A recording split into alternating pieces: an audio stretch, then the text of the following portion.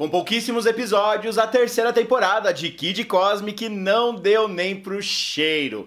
Quando a temporada começou a ficar boa, ela simplesmente acabou. E apesar de eu já saber, e acredito que vocês também, que os produtores planejaram que toda a série de Kid Cosmic teria apenas três temporadas. Mas isso não impede de nós fazermos cinco fatos que queremos ver, que estamos esperando para a quarta temporada de Kid Cosmic e o como isso é possível. Então, bora ver esse vídeo juntos comigo até o final para sabermos quais são esses fatos e quais as possibilidades podem trazer Kid Cosmic e os seus amigos de volta às telas da Netflix.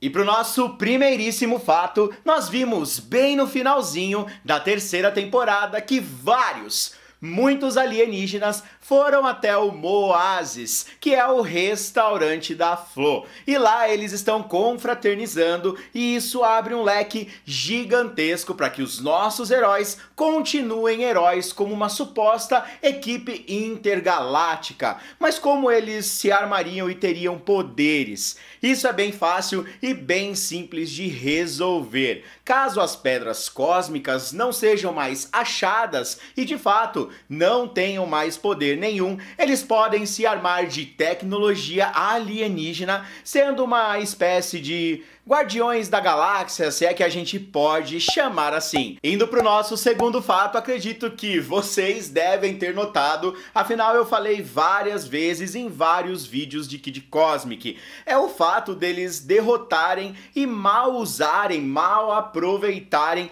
a quantidade de vilões que podem ser legais que foram gerados para a série, mas muito mal usados. Praticamente os vilões são derrotados num estalar de dedos com resoluções tontas e até mesmo cenas de ação que não são tão boas assim. Para uma nova temporada, para uma quarta temporada onde a galáxia seria totalmente explorada, Podemos, aliás, a série deve ter vilões mais marcantes que cheguem para amedrontar todo mundo, inclusive os nossos heróis e os alienígenas super poderosos como a Rainha Jean. Em um determinado momento da terceira temporada, os nossos heróis, os heróis globais, estão olhando para o céu e nós vemos a galáxia. Chegou a hora de Kid Cosmic finalmente explorar o universo e deixar o planeta Terra descansar um pouco de tantas ameaças. São muitas possibilidades saindo do planeta Terra.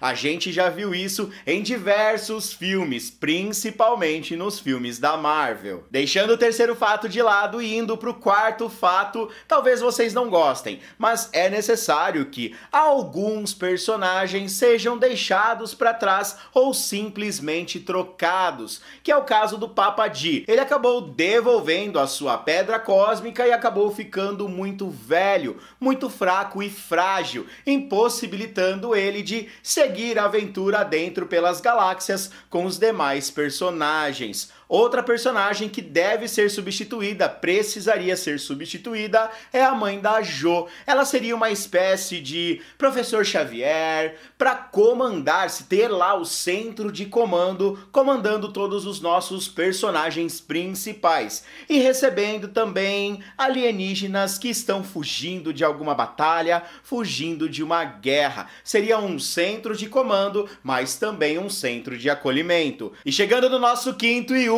fato, mas de longe o menos importante, é que os produtores parem para prestar atenção que a série tem um grande potencial. E ao invés de diminuírem episódios, aumentarem os episódios. Eu tenho certeza que a audiência vai adorar. Os fãs vão gostar muito de ter mais episódios melhor roteirizados e melhor trabalhados, com vários momentos incríveis para que Kid e os seus amigos passem junto com a gente, que a gente possa lá interagir e se divertir muito assistindo essa série. Então, sim, nessa questão de episódios, Kid Cosmic pode ter mais episódios, sim. E um plus aqui para vocês. Como é que as pedras cósmicas retornariam? Será que as que ficaram embaixo do oásis podem reativar os seus poderes? Será que os ex-donos dela ainda têm energia para fazer isso? Eu tive uma sensação bem no finalzinho